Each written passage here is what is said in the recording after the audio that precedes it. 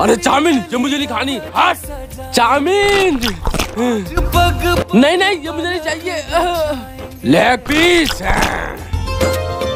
अनार ये तो मुझे बिल्कुल पसंद नहीं है। हट लाल अनार। अरे ये चीज़ तो मुझे बिल्कुल नहीं खानी। हट इतना बढ़िया सामान।